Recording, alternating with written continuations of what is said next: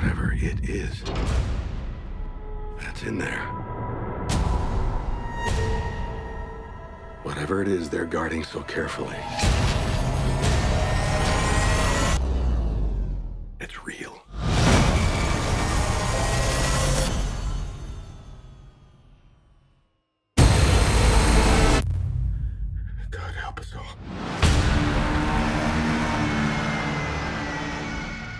Can you kill it?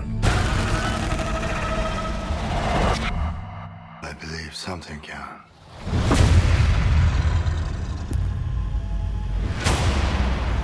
A monster. No, a god.